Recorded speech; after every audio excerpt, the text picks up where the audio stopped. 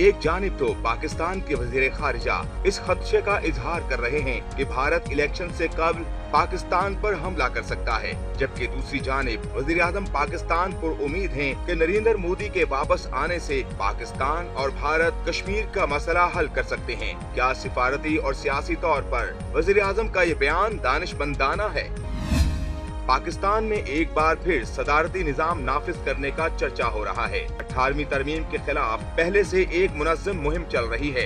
पार्लिमानी निज़ाम और सदारती निज़ाम में फ़र्क क्या है? और पाकिस्तान के लिए कौन सा निज़ाम हुकूमत ज़्यादा मौसर है? इन सब पर तबसरा करेंगे नजम सेठी। अस्सलाम वालेकुम वेलकम टू द शो। मैं हूँ साहब मालिक और हमारे साथ मौजूद हैं नजम सेठी साहब। अस्सलाम वालेकुम सेठी साहब खान साहब ने तूफ़ान खड़ा कर दिया एक। तूफ़ान खड़ा कर दिया? जी सर जी। ओ यार मेरी बात सुनो। कोई नई बात है? खान साहब का नाम तो मैंने वैसे ही तूफ़ान खान साहब रखा अच्छा सर अच्छा सर लेकिन इस बार वाकई में खड़ा कर दिया है। कहाँ पाकिस्तान में? ये इंडिया की बात कर रहे हैं। सर जी दोनों जगह पे आप समझें। अच्छा। हाँ जी। बताएँ ना हमें। सर जी एक बयान दिया उन्होंने गैर मुल्की सहाफ़ियों से गुफ्तगू करते हुए कि इलेक्शन के बाद अगर मोदी साहब की गवर्नमेंट आ गई तो पीस टॉक्स हो सकती हैं और अमन का चांस है और यहाँ तक उन्होंने कह दिया कि कश्मीर का मसला भी हल हो सकता है अगर मोदी साहब की गवर्नमेंट है क्योंकि कांग्रेस की गवर्नमेंट एक वीक गवर्नमेंट होगी। दूस, दूसरी जानब सर जी शेख रशीद साहब क्या कह रहे हैं इस बारे में? वो मैं सुनवा दूँ फिर मैं सवाल पे आता हूँ। अच्छा।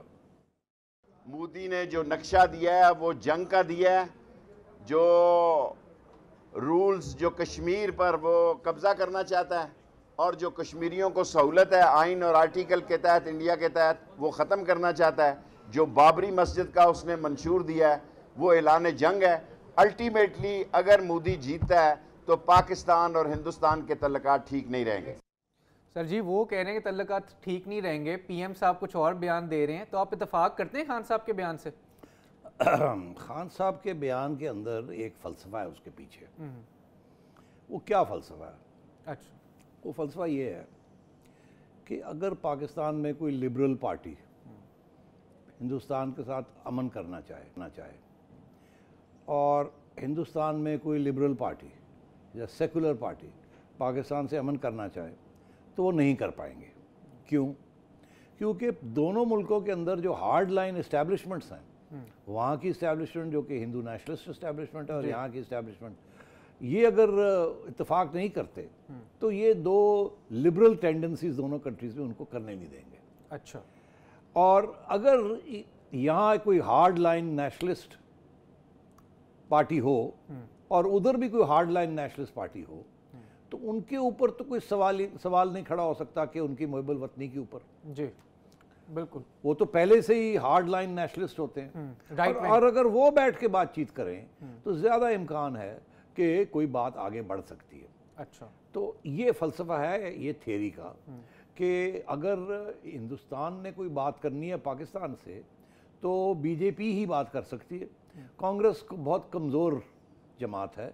अगर कांग्रेस कोई बात करने की कोशिश करती है जिसके अंदर गिव एंड टेक होता है तो उसमें बीजेपी उसका गला पकड़ लेगी। और लोग ज़्यादा बीजेपी की बात मानेंगे बिकॉज़ नेशनलिज्म की बात है। और अगर बीजेपी कोई पाकिस्तान से बात करने की कोशिश करती है तो कांग्रेस जो है क्योंकि वो तो पहले ही यकीन करती है कि अमन होना। चाहिए तो वो ज़्यादा अपोज नहीं करेगी उसको। इसलिए ज़्यादा चांसेस हो जाएँगे कि अगर hard line party right wing hard line party India में आए उससे बात करने के साथ ज़्यादा फ़ायदा है। इसी तरीके के साथ अगर यहाँ कोई सॉफ्ट लाइन पार्टी आती है जो पहले दिन से एजेंडे में है कि इंडिया के साथ अमन करेंगे और वो अमन करने चलते हैं अब आपको मैं थोड़े से एग्जाम्पल्स देता हूँ इस फ़लसफ़े के। जी। क्योंकि फ़लसफ़े में बड़ी जान है। मोहतरमा बेनज़ीर भुट्टो साहिबा की हुकूमत आई 1988 88 मोहतरमा ने आते सार राजीव गांधी साहब को दावत दी कि आप आइए यहाँ और एक अमन का माहा करते हैं। उनको ये बात पसंद नहीं आई। ठीक? अमन की बात हो रही है। मियाँ साहब खुद ज़ियाउल हक के पैदाइश बिल्कुल। तो मियाँ साहब पढ़ गए बेनज़ीर को। और इंडियन एजेंट और सॉफ्टन इंडिया और गद्दारी का इल्ज़ाम लगाना शुरू कर दिया। जी। उधर जब यहाँ से माहा करके गए राजीव गांधी साहब जिसके अंदर उस माहे के अंदर सियाचिन की बात भी थी अच्छा। उसके ऊपर भी एक सोल्यूशन निकल आई थी। सियाचिन के ऊपर? जी जनाब ये अच्छा। तारीख का हिस्सा है कि सियाचिन के ऊपर भी एक सोल्यूशन निकल आई थी जिसमें यह फैसला हुआ था कि आप अपनी पुरानी पोजीशंस जो थी वहाँ आप चले जाएँ। अच्छा। दोनों साइड दोनों साइड्स और सियाचिन का है उसको नो मैंस लैंड डिक्लेयर किया जाए। अच्छा। सिर्फ़ छोटा सा इशू रह गया था उसमें कि जब आप अपनी आज की पोजीशंस छोड़ेंगे तो वो मार्क करके रखेंगे। कि हमने इंडिया वाले कहते थे हम ऊपर हैं इसलिए हम जब छोड़ेंगे ये जगह और पुरानी जगह पे जाएँगे तो हम जो अनेक्चर है उसके अंदर लिखना चाहते हैं कि हमने कमांडिंग हाइट्स छोड़ के गए। हैं अच्छा। ताकि कल को अगर कोई इशू बने तो हम वापस जा सकें। सिर्फ़ ये इशू रह गया था। जब राजीव गांधी वापस पहुँचे दिल्ली तो मीडिया पड़ गया उनको। Indian media. इंडियन मीडिया उनको पड़ गया। बीजेपी और हिंदू नेशनलिस्ट पड़ गए कि आप तो बेचा है आप तो सियाचिन उनके हवाले कर रहे हैं वो तो हमारी टेरिटरी हम वहाँ बैठे हुए थे आपने कैसे कर लिए? वो सॉरी सॉरी सॉरी करके भाग गया। अच्छा। यहाँ मोहतरमा के ऊपर इल्ज़ाम लग गया कि you are Indian Indian agent और मोहतरमा को अगले साल प्रेसिडेंट गुलाम इसाक खान ने डिसमिस कर दिया। फारिग कर दिया। फारिग कर दिया। मियाँ साहब आ गए। जी। मियाँ साहब ने आए और वो राइट विंग थे। उन्होंने जिहाद प्रमोट की नाइन्टीज़ के अंदर। तो कुछ नहीं हुआ। मियाँ साहब जब अगली दफ़ा पा, पावर में आए 97 97 में तो उस वक्त वहाँ बीजेपी थी हिंदुस्तान में। वाजपेयी साहब। 98 में बीजेपी आ गई थी। मियाँ साहब ने 99 में अंदर फिर बात की वाजपेयी के साथ। और दोनों हार्डलाइन पार्टीज़ थी। मियाँ साहब जो जिहाद को एक ज़माने में प्रमोट करते थे उधर वो जो कि वाजपेयी साहब। जो कि हेड ऑफ़ बीजेपी और अडवाणी उनके साथ। तो इन्होंने फिर वो बस डिप्लोमेसी शुरू की। और उधर से हार्डलाइन पार्टी और हमारी हार्डलाइन पार्टीज़ ने एक अमन का जिसे कहते हैं ना पैगाम लेके चले। पैगाम लेके चले। तो हुआ क्या? इंडिया की तो हार्डलाइन पार्टी थी वो तो लेके आ गए बस पे आ गए यहाँ लाहौर अकॉर्ड हुआ।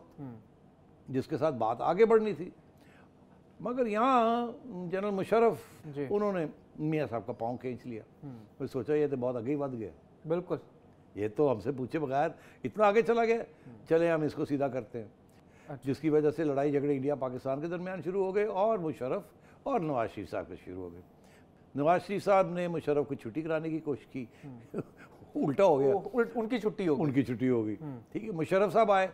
मुशरफ साहब ने कहा ऐसी की तैसी। और within two three years Musharraf साहब तैयार हो गए वाजपेयी साहब के साथ बात करने के लिए। वही अमन का पैगाम जो नवाज़ शरीफ साहब लाए थे।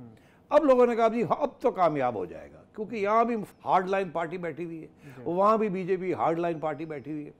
अब तो ये कुछ ना कोई हल निकलेगा। और हकीकत ये है कि दोनों हक हल की तरफ़ जब आगे बढ़े तो हल निकलना शुरू हो गया। यहाँ तक कि अगर मुशरफ ये अब तारीख का हिस्सा बन चुका जो मैं कहने लगा हूँ। खुर्शीद कसूरी साहब की किताब के अंदर इसका डिटेल्ड उन्होंने वजात की है कि एक माहा बिल्कुल तैयार हो गया था। कश्मीर कश्मीर के। दोनों हार्ड लाइन पार्टीज़ ने और फौरी तौर पे सेटलमेंट ये हो जाए कि दोनों बॉर्डर्स खोल देते हैं कश्मीर के इनका आना जाना शुरू हो जाए। अच्छा। और बदाखलत बंद कर देते हैं और ये जिहाद शाद ख़त्म कर देते हैं। इन द मीन वाइल अमन हो जाएगा। और वो मुशरफ साहब की यहाँ होगी छुट्टी। वो माहा रह गया वहीं का वहीं। अच्छा। और वो माहा आगे ना बढ़ सका। तो खान साहब जब ये बात करते हैं कि अगर वहाँ एक हार्ड लाइन पार्टी हो और यहाँ एक हार्ड लाइन पार्टी हो तो फिर सेटलमेंट का ज़्यादा चांसेस है। इस फलसफे के ऊपर बेस करके उन्होंने ये बयान दिया अच्छा। कि अगर मोदी आ गया तो वो हार्डलाइनर है और फिर ज़्यादा चांसेस हैं कि हम मोदी के साथ बात कर सकेंगे और और सेटलमेंट हो सकती है। तारीख का से सबक सीख के। उधर वो कांग्रेस वाले और बाकी लोग बड़े लोग बड़े अपसेट हो गए। ये खान साहब का फलसफा है। अब मसला ये है ये फलसफा तो वैलिड था मगर अभी वैलिड नहीं है। अच्छा जी। ये इशू बन गया जैसे शेख साहब ने कहा मियाँ नवाज़ शरीफ साहब जब आए इस दफ़ा तो उन्होंने आते सार नरेंद्र मोदी के साथ अमन की बात का हाथ बढ़ाया। और उस, दर- उस उसकी तरफ़ से भी हुआ। जी। यहाँ लाहौर भी आ गए एक आते आते जाते जाते पहुँच गए जती उमरा। हम्म। पैगाम भी आने शुरू हो गए बातचीत भी शुरू हो गई। तो अब बात कहाँ आके खड़ी हुई? बात यहाँ खड़ी हुई कि अगर इमरान खान साहब के बयान के पीछे हमारी हार्ड लाइन इस्टेब्लिशमेंट है तो फिर तो बड़ी पक्की अच्छी बात है ना कि जैसे मुशरफ की इस्टेब्लिशमेंट उसके साथ थी। जी। आजकल खान साहब के साथ भी हैं और दोनों अमन चाहते हैं। ये तो इससे बेहतर तो कोई चीज़ ही नहीं हो सकती। तो इमरान खान साहब अब एंटी इस्टेब्लिशमेंट नहीं प्रो इस्टेब्लिशमेंट स्टांस लेके फॉरेन पॉलिसी की तरफ़ जा रहे हैं। अच्छा। जो कि बड़ी अच्छी बात है बिकॉज़ यकजहती है जी। मगर उस तरफ़ नरेंद्र मोदी क्या वो भी तैयार है ये काम करने के लिए? और यहाँ जो हाँ के जो इख्तलाफ हो रहा है लोगों का वो ये है कि नरेंद्र मोदी का सारा प्लेटफॉर्म ही एंटी पाकिस्तान है सारी उसकी मुहिम भी एंटी पाकिस्तान सारी इलेक्शन मुहिम उसकी। और उसने पिछले पाँच साल में कोई तजारत क्या कुछ करने की उन्होंने इजाज़त नहीं दी। हालाँकि तजारत हो सकती थी कोई ख़ास अमन की तो बात नहीं थी।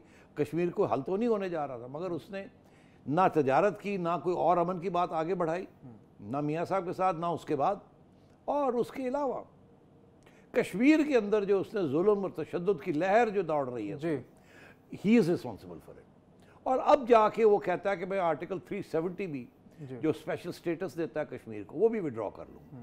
तो नरेंद्र मोदी तो वॉर लीडर है। Narendra Modi is a war leader वो उसने अपनी सारी कैंपेन अपना सारा कुछ जो है वो एंटी मुस्लिम एंटी पाकिस्तान बनाया हुआ है। वो बेस उसकी वो। वो बेस है। तो बात यह है खान साहब को ये सोचना चाहिए जो शेख साहब कह रहे हैं कि क्या नरेंद्र मोदी हार्ड लाइनर तो है मगर इतना हार्ड लाइनर है कि वो आपसे बात नहीं करेगा। अब सवाल ये है कि बात क्यों करे नरेंद्र मोदी? क्या नरेंद्र मोदी कश्मीर का हल ऐसा निकालेगा जिसमें हिंदुस्तान का फ़ायदा होगा? या नरेंद्र मोदी ऐसा हल निकालेगा जिसमें पाकिस्तान का फ़ायदा है? अगर पाकिस्तान का फ़ायदा तो उड़ जाएगा। जहरी बात है। अगर वो अपना फ़ायदा निकालता है तो खान साहब उड़ जाएँगे यहाँ। हम्म, तो नोबेल प्राइज़ तो मिलेगा उनको जो दोनों कॉम्प्रोमाइज़ करेंगे और कश्मीर का लॉन्ग टर्म सोल्यूशन निकालेंगे जिसमें सिर्फ़ पाकिस्तानी या ना सिर्फ़ हिंदुस्तानी कश्मीरी अवाम भी उसको तस्लीम करेगी और उसका खैर मकदम करेगी। अच्छा। ये अब मामला सिर्फ़ पाकिस्तान इंडिया का नरेंद्र मोदी और इमरान का नहीं रहा। जी कश्मीरी अवाम भी अब कश्मीरी अवाम का भी रहे अब कश्मीरी अवाम प्लेबिसिट नहीं चाहती। ना कश्मीरी अवाम हिंदुस्तान में रहना चाहती। ना वो पाकिस्तान में आना चाहते वो आज़ादी चाहते हैं दोनों से। अपना एक अलग रियासत बनाना चाहते हैं जो। कि ना पाकिस्तान को मंजूर को मंजूर होगा ना हिंदुस्तान को मंजूर होगा। इसलिए मैं ये समझता हूँ खान साहब का इस वक्त इलेक्शन से पहले ये बयान देना कि अगर नरेंद्र मोदी जीतता है तो शायद कश्मीर का हल निकल आए। मैं समझता हूँ ये बिल्कुल गैर जिम्मेदार और गैर मुनासिब बात की उन्होंने। अच्छा जी। ऐसी बात नहीं करनी चाहिए थी। वो तो ऐसे लगता है जैसे वहाँ इसीलिए अ, हिंदुस्तान में अपोजिशन सारी जो है वो शोर उठा रही है और जाग उठी है कि ये इमरान खान तो मोदी को एक, एक बूस्ट दे रहा है कि अमन अगर हो सकता है तो नरेंद्र मोदी कर सकता है कांग्रेस नहीं कर सकती या कांग्रेस और उसके एलाइज नहीं कर सकते। अरे सर यही मैं आपसे अगला सवाल पूछने लगा था कि वहाँ पे शदीद तनकीद हुई है खान साहब के इस बयान पे। तो ज़रा हमारे नाजीन को ये बताते चलें आप तो फॉलो कर रहे हैं क्योंकि कि किधर किधर से तनकीद आई और क्या क्या उन्होंने कहा? देखिए ज़ाहिर है कि जम्मू कश्मीर के जो लीडर्स हैं महबूबा मुफ्ती है फ़रूक अब्दुल्ला है उनकी तरफ़ से तनकीद आई है। इसी तरह कांग्रेस की तरफ़ से ज़ाहिर है आई है क्योंकि उन्होंने तो कांग्रेस के बारे में खान साहब ने तो ये कह दिया ना कमज़ोर है। वीक पार्टी वीक पार्टी है वो क्या उनके अंदर तो रिजॉल्व ही नहीं है वो तो कुछ कर ही नहीं सकते। हालाँकि ये बिल्कुल गलत है मैं आपको बताऊँ जब बीजेपी की ख़त्म हुई हुकूमत और उस वक्त कांग्रेस की वहाँ जब मुशरफ साहब के आखिरी साल जो था और डॉक्टर मनमोहन सिंह सिंह पीएम थे। पीएम थे तो डॉक्टर मनमोहन सिंह इंतज़ार करते रह गए कि मुशरफ उनको पाकिस्तान दावत देगा और वो आके ये पूरा मुआदा करें। अच्छा कांग्रेस तैयार थी ये करने के लिए। ये मैं इसलिए कह रहा हूँ कि मैं जब डॉक्टर साहब को मिला दिल्ली में तो मैंने पूछा उनको तो उन्होंने कहा जी हम तो फिर भी तैयार थे।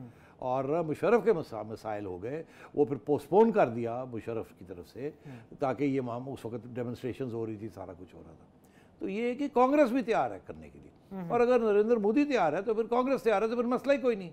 नरेंद्र मोदी जो है वो तैयार नहीं है। अच्छा नरेंद्र मोदी वॉर हीरो बना हुआ है 56 इंच चेस्ट बना के। चौकीदार। चौकीदार हर बंदा बना हुआ है चौकीदारी किससे कर रहे हो? ऑपोजिशन से तो चौकीदारी नहीं कर रहे ना। चौकीदारी तो कर रहे हैं पाकिस्तान से। ये उन्होंने ड्रामा बनाया हुआ है। अब खान साहब का शायद ख्याल ये है कि ये सिर्फ़ इलेक्शन स्टंट है। ऐसी बात नहीं है इलेक्शन स्टंट नहीं है ये। नरेंद्र मोदी की इम्कान यही है कि अगर खान साहब यहाँ बैठे हैं तो नरेंद्र मोदी जो है और उसका जो नेशनल सिक्योरिटी एडवाइज़र है अजीत दोवल आ, उनको कन्विंस कन्विंस करना पड़ेगा कि पाकिस्तान ने अपने रंग बदल दिए पाकिस्तान ने जिहादी तंजीमें ख़त्म कर दी हैं। पाकिस्तान ने हर किस्म की प्रॉक्सी वॉर ख़त्म कर दिया है और पाकिस्तान हिंदुस्तान के साथ तावन चाहता है और लॉन्ग टर्म तावन चाहता है। ये कन्विंस करना पड़ेगा ये इतना आसान नहीं है। और अगर इंडिया कन्विक्शन लेगा तो अपनी टर्म्स पे लेगा। है सर, फ़िलहाल तो ब्रेक का वक्त हुआ है लेकिन वापस आके मैंने खान साहब के एक और बयान पे ही आपसे ज़रा आपकी राय लेनी है। नाजीन लेते हैं एक छोटा सा वक्फा। वेलकम बैक सैडी साहब, खान साहब ने यही गैर मुल्की सहाफ़ियों के साथ इंटरव्यू में एक और बयान दिया है, और उन्होंने कहा जो सारी जहादिस तंजीमें हैं, जिधर जिसके बारे में हमें प्रेशर भी आ रहा है, अब इंटरनेशनल हम कह रहे हैं, हम कार्रवाई भी कर रहे हैं, वो कह रहे हैं कि नाइनटीन एटीज़ में हम लोगों ने बनाई थी। तो सर जी, ये बता दें कि इस वक्त इन हालात में जब पाकिस्तान और इंडिया की अफवाज आमने सामने खड़ी हैं, इस इस तरह के बयान देने की क्या ज़रूरत थी? ज़रूरत थी। अच्छा। बयान किस किस्म का देना चाहिए था उसमें कुछ बात हो सकती। खान साहब ने क्या कहा? खान साहब ने ये कहा है कि ये 1980s में हमारी फ़ौज ने जिहाद जिहादी तंजीमें बनाई थी। एक नेशनल सिक्योरिटी का सतून था सतून था। उन्होंने याद दिलाया कि उस वक़्त हम सोवियत यूनियन के ख़िलाफ़ अफ़गानिस्तान के अंदर एक जिहाद को प्रमोट कर रहे थे और अमेरिका हमारा साथी था। तो ये मिलके हमने ये किया था। ज़ाहिर और वो कामयाब भी हुआ। रूस को निकाल दिया गया यहाँ से। अमेरिका को अपना ख़तरा था पाकिस्तान को अपना ख़तरा था कि रूस आ गया यहाँ कल को फिर वार्म वाटर्स पे पहुँच जाएगा। हमारे थ्रू जाएगा। तो उन्होंने कहा ये ठीक है हम तस्लीम किया कि हमने किया था। और ये बात है ये तस्लीम करने में कोई बड़ी बात नहीं है। सबको पता है कि अमेरिका के साथ मिलके हमने मुजाहिदीन बनाए थे और तो उनको सपोर्ट किया था। तो मगर उसका जो अगला बयान है ये बैकग्राउंड दे के उन्होंने कहा जी अब हमने फैसला किया कि रियासत के अलावा और कोई तंजीम नहीं होनी चाहिए जिसके पास हथियार हों। ये पहली दफ़ा नहीं पहले भी कह चुके हैं। और आप ये कह रहे हैं कि अब सारी जिहादी तनजीमें वगैरह को हम रैप अप कर रहे हैं। जी। अब बात यह है कि तस, जिहादी तंजीमें जो हैं यहाँ अगर आप रैप अप कर रहे हैं तो पहले तो तस्लीम करना पड़ेगा ना कि हैं भी। अगर है ही नहीं तो रैप अप क्या करना है आप जी। और ये क्यों कहना कि रैप अप कर रहे हैं? कोई दुनिया कहती है हैं। वो खुद कहते हैं हम हैं उनके खुद बयान आते हैं वो खुद तस्लीम करते हैं ना हैं भी और वो कहते हैं हम गड़बड़ भी करते हैं। तो ये F A T P F जो हमारे गले पड़ा हुआ है ना। जी। ग्रे लिस्ट वाला सारा मामला। ग्रे लिस्ट वाला मामला। ये ग्रे लिस्ट वालों के लिए भी तो ये तो ये ये बयान है ना कि हम रैप अप कर रहे हैं। और खुलेआम वो इंटरनेशनल मीडिया को बता रहे हैं कि हम रैप अप कर रहे हैं। तो मेरा ख्याल है ये अच्छा बयान है। अच्छा जिसमें मुझे कोई एतराज़ नहीं है। मुझे बिल्कुल कोई एतराज़ नहीं है। और उन्होंने सिर्फ़ एटीज़ की बात की। उन्होंने नाइन्टीज़ के अंदर क्या हुआ और 2000 के बाद उसकी दिहाई में क्या हुआ जिसमें मुजाहिदीन तो ख़त्म हो गए कुछ और शुरू हो गया था। उस उधर नहीं गए वो। अच्छा। मगर जो इन्होंने इशारा करना था वो इशारा उन्होंने कर दिया कि हम रैप अप कर रहे हैं इन चीज़ों को। तो मैं समझता हूँ कि ये तो अच्छा बयान दिया उन्होंने। अच्छा सर। अब ज़रा सर सोशल मीडिया और बाकी फोरम्स पे भी बड़ी डिबेट चल रही है और चर्चे हो रहे हैं प्रेसिडेंशियल फॉर्म ऑफ़ गवर्नमेंट के और पाकिस्तान में वो नाफिज होना चाहिए। तो सर जी पहले तो हमारे नाजरीन को ये बताते चलें कि हिस्ट्री क्या है प्रेसिडेंशियल और पार्लिमानी सिस्टम की पाकिस्तान में? यार देखें फोर्टी सेवन पे आप शुरू करें। जी।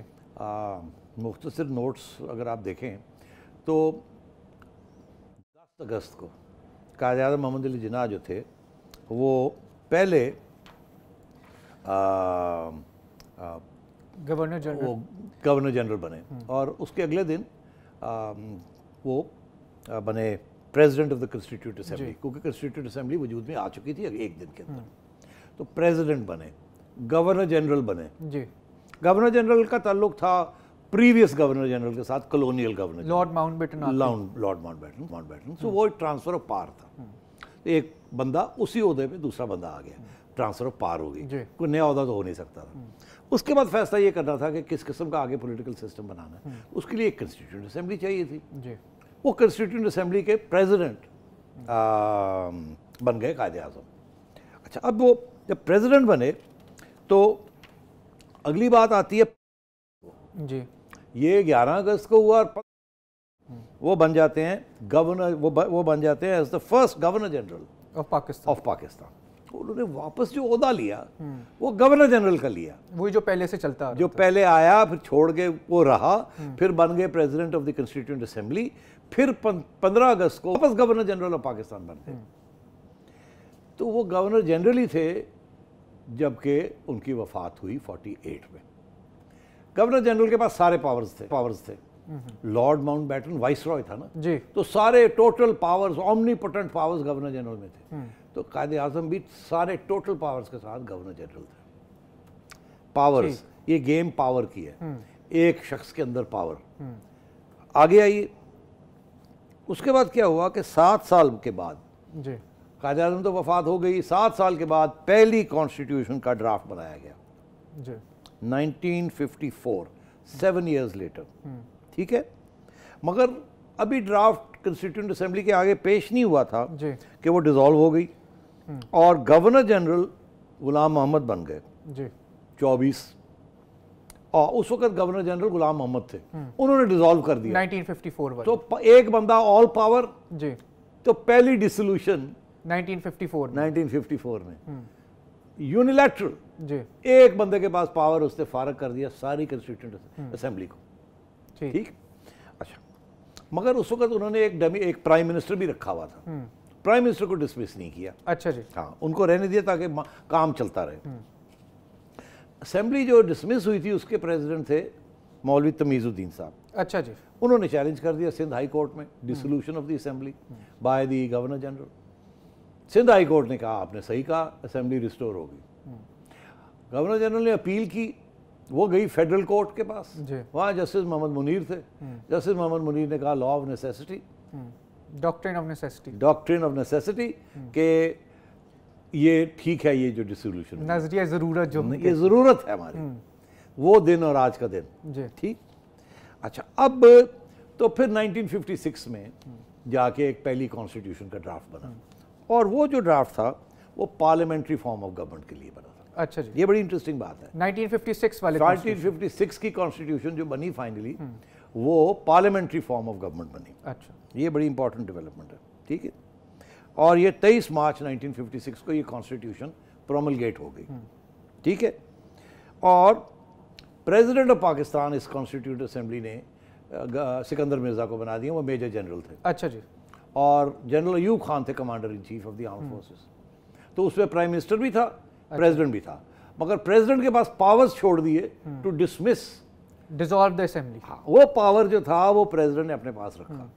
तो इसका मतलब है प्रेसिडेंट डमी नहीं था वो ऑल पावरफुल था। प्रेसिडेंट भी बन गया आर्मी चीफ जो था वो कमांडर इन चीफ था। जी। उसको डिफेंस मिनिस्टर बना दिया। अच्छा जी अयूब खान साहब को। ना? अयूब खान साहब को सिकंदर मिर्ज़ा जी जी। और चंद दिनों के बाद दस पंद्रह दिनों के बाद अयूब खान साहब ने सिकंदर मिर्ज़ा की छुट्टी करा दी और उनको लंदन भेज दिया। और खुद प्रेसिडेंट ऑफ़ पाकिस्तान बन गए अच्छा जी फ़र्स्ट मार्शल लॉ जो लगा। 1958 में अयूब खान साहब ने मार्शल लॉ लगा दिया। ठीक है।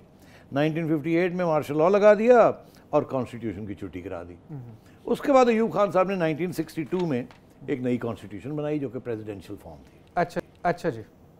उस वक्त फातिमा जिना के साथ लड़ाई हुई झगड़े हुए इलेक्शन के ऊपर और फातिमा जिना के भी बयान बयान होंगे शायद हाँ जी सर वो मेरे पास फातिमा जना साहिबा के खान साहब क्लिप्स पढ़े वो मैं आपको सुनाता हूँ। दिखाए। आप लोगों को सबको मालूम है कि ये इलेक्शन हो रहे हैं और किस नज़रिए पे ये इलेक्शन हो रहे हैं? अवाम ने तो अपना ख्याल दे चुके हैं। जिधर भी मैं गई हूँ, उधर बहुत बड़ी तादाद में, लाखों की तादाद में उन्होंने अपना फैसला कर चुके हैं कि यहाँ पार्लिमानी जमहूरियत कायम होगी। I think Western type of democracy, when you talk about that, that type of democracy only exists north of the English Channel, doesn't it? It hasn't really successfully worked anywhere else.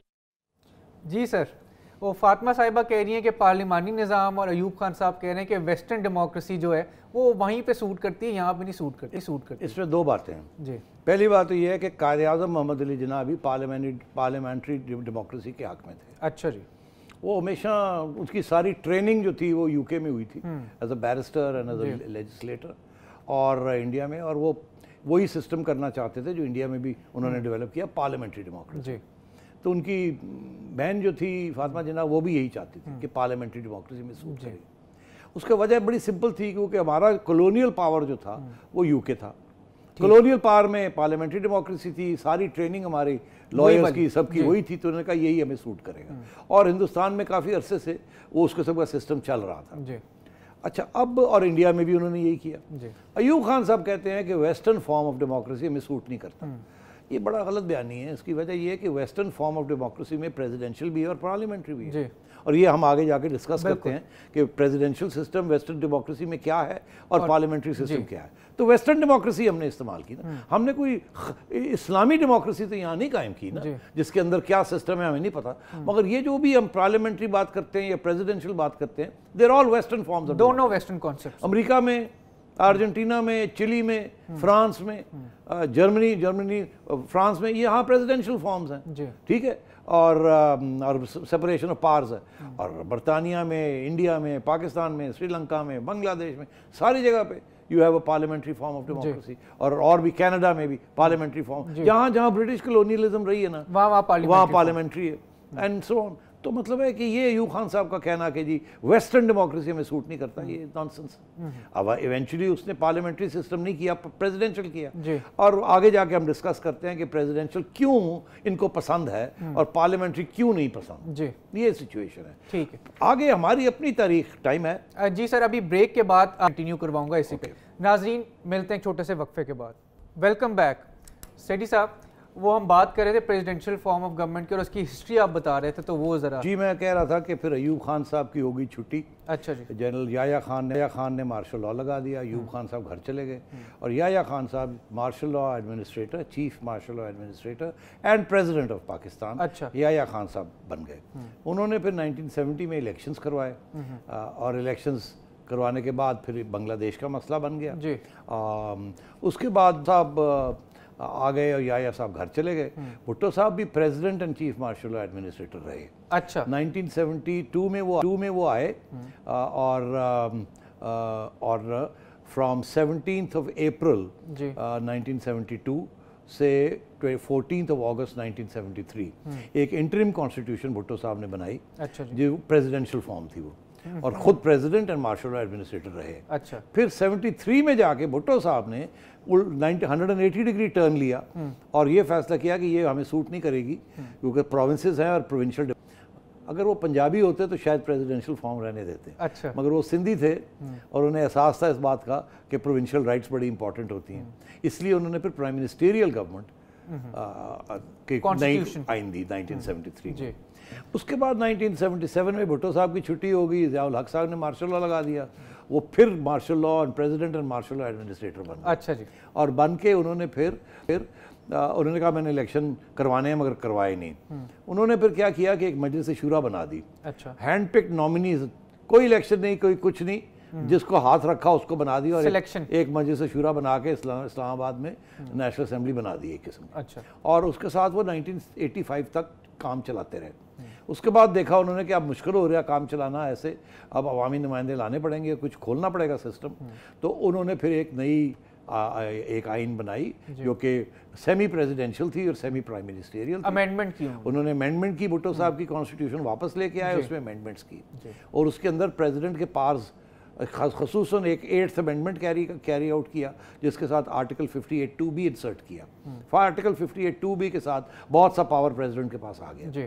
ठीक है? और वो अपने पास रखा और फिर एक non party election करवा दी। गैर जमाती गैर जमाती इलेक्शन करा दी जो कि पीपल्स पार्टी ने बॉयकॉट की थी। क्योंकि वो तो पीपल्स पार्टी को निकाला था ना उन्होंने। तो पीपल्स पार्टी गुस्से में उन्होंने बॉयकॉट कर दी। तो उसके दौरान फिर उन्होंने अपने मोहरे बनाए जिसके दौरान मुस्लिम लीग को रिवाइव किया और सारा कुछ किया। फिर 1988 में जुनेजो साहब जो प्राइम मिनिस्टर बनाए थे बड़े वीक से प्राइम मिनिस्टर थे उसको भी बर्दाश्त नहीं कर सके जनरल ज़ियाउल हक अच्छा। उसकी छुट्टी करा दी जनरल ज़ियाउल हक ने। उसकी भी डिसमिस कर दी और असेंबली भी डिसमिस कर दी। 58 two B fifty eight two भी इस्तेमाल करके छुट्टी करा दी। मगर उसके बाद खुद वो एयर क्रैश में मारे गए। इलेक्शंस नए फिर सुप्रीम कोर्ट ने फैसला किया और प्रेसिडेंट गुलसाक बन गए थे गुलाम इसाक खान बन गए थे प्रेसिडेंट और उनको फिर एक नए इलेक्शन हुए। उस इलेक्शन में मोहतरमा बेनज़ीर भुट्टो आई। एट नाइन्टी में बाद बेनज़ीर भुट्टो की इलेक्शन की छुट्टी करा दी गुलाम इसाक खान ने। वही पावर यूज़ वही पावर्स ना फिफ्टी एट टू भी करके और फिर 1990 के बाद फिर इलेक्शन हुए। उसमें नवाज़ शरीफ साहब को लाया गया वो आ गए। नवाज़ शरीफ साहब की लड़ाई होगी गुलाम इसाक खान के साथ। गुलाम इसा खान ने फिफ्टी एट टू बी लगा के नवाज़ शरीफ की छुट्टी करा दी। चीफ जस्टिस उस वक्त नसीम हसन शाह थे। उन्होंने कहा गलत किया है ये नहीं कर सकते थे। अच्छा। क्योंकि पावर सुप्रीम कोर्ट के पास तो आखिरी होती है। तो वो धक्का लगा गुलाम इसाक खान को उन्होंने नवाज़ शरीफ को रिस्टोर कर दिया वापस।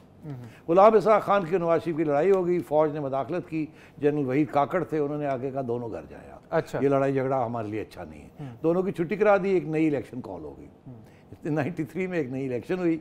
उसके अंदर मोहतरमा आ गई। ज़ाहिर है नवाज़ को निकाला तो मोहतरमा नहीं आना बीबी आ गई। बीबी आ गई बीबी आ गई बीबी 96 तक रही। उन्होंने फरूक लगारी को बना दिया अपना प्रेसिडेंट मगर 58 टू भी अभी था। वो कायम था। 58 टू भी फरूक लगारी ने उनके ऊपर गला काट दिया उनको अच्छा। उनको छुट्टी करा दी नाइनटीन नाइन्टी सिक्स में और इलेक्शन करवाई और नवाज़ शरीफ आ गया। नवाज़ शरीफ आ गया उन्होंने कहा यार ये 58 टू भी पता नहीं चार पाँच लोगों की छुट्टी करा चुका है अब 58 टू बी की छुट्टी करानी है। अच्छा। क्योंकि मियाँ साहब के पास टू थर्ड मेजोरिटी मियाँ साहब ने रातों रात फलूक लगारी साहब अपने घर गए हुए थे डीजी खान में और पीछे से रातों रात इन्होंने कॉन्स्टिट्यूशनल अमेंडमेंट पास करके और 58 टू भी छुट्टी करा दी। अच्छा। उसके बाद फरूक लगारी साहब की और मियाँ साहब के तल्लकात ख़राब हो गए क्योंकि फरूक लगारी साहब के पास पावर्स बहुत कम थे।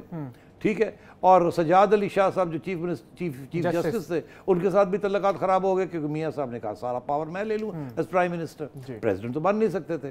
वो प्राइम मिनिस्टर ही बनना चाहते थे। तो उसके बाद उनके साथ भी लड़ाई होगी फिर सजाद अली शाह भी घर गए और फरूक लगारी भी घर गया अच्छा जी दोनों की छुट्टी दोनों की छुट्टी हो गई। अच्छा जी फिर फिर मियाँ साहब ने 58 टू बी के बगैर ऑल पावरफुल प्रेसिडेंट रहे। फिर मियाँ साहब की छुट्टी होगी मुशरफ आ गया मुशरफ ने आके मियाँ साहब की छुट्टी करा दी। वापस 58 टू बी ले आया। अच्छा दोबारा इंसर्ट कर दोबारा वापस ले आया क्योंकि प्रेसिडेंट और मार्शल लॉ एडमिनिस्ट्रेटर फिर वो प्रेसिडेंट और मार्शल लॉ एडमिनिस्ट्रेटर रहे फिर उन्होंने 2002 में जाके फिर इलेक्शन कराए और 58 टू भी रखा अपने पास। ये फिर जब जरदारी साहब आए हैं एज प्रेसिडेंट मुशर्रफ साहब की आउस्टर के बाद उन्होंने फिर एटीन अमेंडमेंट पास किया। मियाँ साहब के साथ मिल के कि ये 58 टू भी प्रेजिडेंट के पावर्स को ख़त्म करना चाहिए। अच्छा। तो ये हमारी हिस्ट्री है। अब बात जो हो रही है वो यही हो रही है कि जी किसी तरीके के साथ प्रेसिडेंशियल पावर वापस आनी चाहिए आनी चाहिए। वन मैन सिस्टम होना चाहिए। एक बंदे को रूल करना चाहिए। ना बाकी इधर के ना बाकी उधर के। ये है हमारी हिस्ट्री और हमारा romance with 58 two B and a romance with a presidential system अच्छा सर ये प्रेसिडेंशियल सिस्टम की आपने बात की। हमारे नाजरीन को ये बता दें कि प्रेसिडेंशियल सिस्टम में सिर्फ़ 58 टू बी का ही तस्करा आता है या और भी कोई फ़र्क है इसमें और पार्लिमानी नहीं नहीं बड़े फ़र्क हैं। अच्छा। पहली बात तो ये है कि प्रेसिडेंशियल सिस्टम में डायरेक्ट इलेक्शन होती है प्रेसिडेंट की। अच्छा जी। पार्लियामेंट्री डायरेक्ट इलेक्शन से मुराद ये है कि आप और मैं खड़े हो जाते हैं सारा पाकिस्तान हमारे लिए वोट करता है। आप बनेंगे या मैं बनूँगा। अच्छा। ठीक है? ठीक। अच्छा उसके बाद इलेक्शन अलग होते हैं। एक असेंबली के लिए एक सेनेट के लिए एक लोअर हाउस के लिए एक अपर हाउस के लिए। वो पार्टी बेस्ड इलेक्शन होते हैं। सही। ठीक है वो अलग होते हैं। ये भी पार्टी बेस्ड होता है मगर ये प्रेसिडेंसी का डायरेक्ट इलेक्शन होता है आवाम से होता है। अच्छा। प्राइम मिनिस्टर और प्रेसिडेंट के पास बहुत पावर्स होते हैं। ठीक है बहुत पावर्स होते हैं। और क्योंकि प्राइम मिनिस्टर नहीं होता है इसके अंदर। सिर्फ़ दो हाउसेज होते हैं। फिर प्रेसिडेंट के पास एग्जीक्यूटिव अथॉरिटी सारी की सारी प्रेसिडेंट के पास होती है। अच्छा। और लेजिस्लेटिव अथॉरिटी सारी की सारी पार्लियामेंट के पास होती असेंबलीज जो होती है। है और वो पार्लियामेंट जो होती है वो इतनी इंडिपेंडेंट होती है कि वो प्रेसिडेंट को चेक करके रखती है। अच्छा जी। कि प्रेसिडेंट जो है वो गड़बड़ ना करे। अच्छा मगर ये तो मैं आगे जाके बताता हूँ ये सिस्टम क्यों नहीं यहाँ चल सकता? पार्लियामेंट्री सिस्टम के अंदर अथॉरिटी जो है प्रेसिडेंट सेरेमोनियल होता है और, और सारी अथॉरिटी जो होती है वो काबीना में होती है। अच्छा। और काबीना के ज़रिए प्राइम मिनिस्टर के पास headed by the prime minister headed by the prime minister अभी पहले ये था कि प्राइम मिनिस्टर के पास होती है। अब जस्टिस साकिब निसार साहब जाते जाते ये कह गए हैं कि प्राइम मिनिस्टर सिस्टम नहीं है कैबिनेट गवर्नमेंट है। अपनी जजमेंट के अपनी जजमेंट के तहत कि प्राइम मिनिस्टर जो चाहे नहीं कर सकता। जब तक कैबिनेट की अप्रूवल ना हो। तो ही इज़ वन ही जो वो अंग्रेज़ वो आपका है ना कि प्रेमस एक्वस पैरिस वो क्या है? कि जी जो one more than one amongst equals कि काबीना में से कोई भी प्राइम मिनिस्टर बन सकता है तो ये बेसिक रूल है कि प्राइम मिनिस्टर सिस्टम में प्राइम मिनिस्टर जो है वो इतना पावरफुल नहीं होता जितना प्रेसिडेंशियल सिस्टम में प्रेसिडेंट होता है। अच्छा जी। प्राइम मिनिस्टर के ऊपर यहाँ प्रॉब्लम क्या होते हैं prime minister prime minister system के अंदर पार्लियामेंट के अंदर से मिनिस्टर्स बनाने पड़ते हैं। ठीक। मजबूरी होती है। आप बड़े काबिल आदमी हैं। आप नहीं मिनिस्टर बन सकते। अच्छा। हाँ। कोई और इतना काबिल नहीं है मगर पार्लियामेंटेरियन है वहीं से चूज़ करना पड़ेगा। तो काबीना जो होती है वो पार्लियामेंट की रिप्रेजेंटेटिव होती है। दोनों हाउसेज में से किसी एक का होना किसी एक का होना ज़रूरी है पहली बात। प्रेसिडेंशियल के अंदर नहीं। अच्छा। पा, पार्लियामेंट से अंदर से किसी को ले सकते हैं या ना ले कोई फ़र्क नहीं पड़ता। जिसको चाहे आप लगा दें। अपनी मर्ज़ी आपको उठा के लॉ मिनिस्टर लगा दें मुझे उठा के फाइनेंस मिनिस्टर लगा दें एक्सपर्ट्स आ जाते हैं। अब अमेरिका के अंदर प्रेसिडेंशियल सिस्टम है।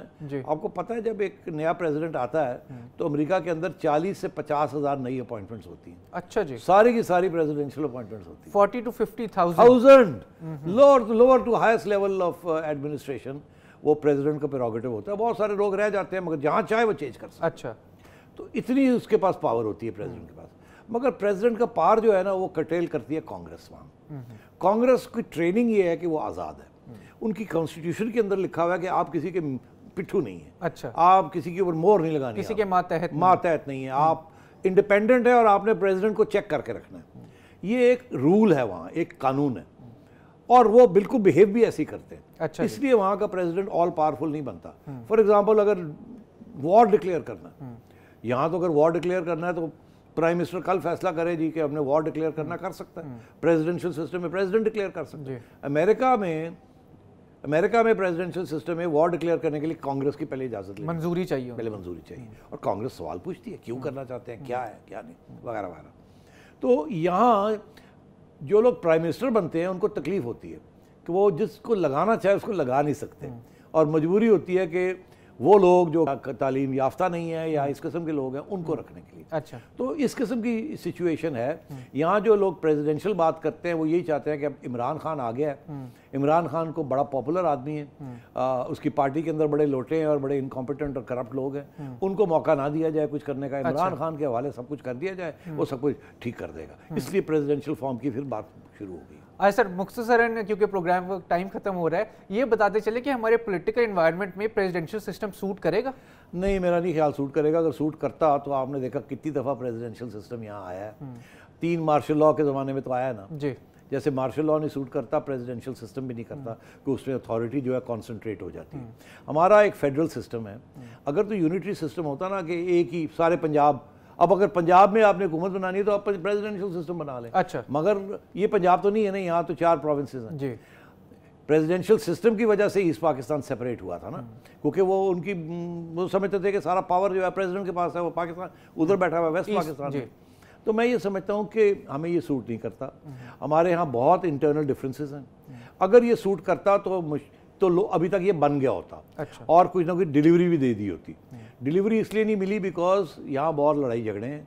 सबको साथ लेके चलना पड़ता है। प्रोविंसेस जो है वो अपनी हक मांग रहे हैं। वो पै, हर पैसे के ऊपर लड़ाई झगड़ा कर रहे हैं। हर चीज़ के ऊपर रिसोर्सेज के ऊपर कर रहे हैं। अगर प्रेसिडेंशियल सिस्टम हो गया तो प्रोविंसेस के अंदर बगावत हो जाएगी। अच्छा। और ये फेडरल फेडरल आपका जो फेडरेशन है इसको कमज़ोर करेगा। वो वीक होगा। ये हमारा हिस्ट्री है और हमें हिस्ट्री याद रखनी चाहिए। आज इमरान खान है। आप इसको प्रेसिडेंट बना देते हैं ऑल पावर दे देते हैं। अगर वो अच्छा काम भी करते हैं कोई बुरा काम नहीं करते और कोई क्राइसिस नहीं होती है कल जब वो जाएँगे और कोई आ जाएगा तो वो और भी खतरा हो सकता है अच्छा। इसलिए बेहतर ये है कि आप चेक्स एंड बैलेंसेस यही सिस्टम रखें इसको इम्प्रूव करें अच्छा। और जाते जाते मैं कह दूँ इसकी सिंपल इम्प्रूवमेंट है वो ये है कि ये जो ये कि जिस सिर्फ़ पार्लियामेंट के अंदर से आप मिनिस्टर्स ले सकते हैं। अ, खान साहब को तकलीफ़ हो रही है कि जी हमें बुजार बनाना पड़ गया या फलाना बनाना पड़ गया आप उसको तरमीम कर लें आइन के अंदर कि प्रेसिडेंट जो है प्राइम मिनिस्टर जो है वो आधे मिनिस्टर्स पार्लियामेंट से ले ले और आधे बाहर से ले ले। कहीं बाहर से तो ये ये एफिशिएंसी का जो मामला है ये हल हो सकता है आसानी के साथ इस सिस्टम के अंदर। इस सिस्टम के अंदर प्रोविंशियल इकॉनमी बड़ी इंपॉर्टेंट है उसको रखना चाहिए। आज सर प्रोग्राम का ख़त्म हो जाता है और बड़ा दिलचस्प आपका तजिया था हिस्ट्री के साथ। नाजरीन कल आपसे फिर मुलाकात होगी इसी टाइम हमें अपने कीमती फीडबैक से ज़रूर आगा, आगा कीजिएगा। खुदा हाफिज़।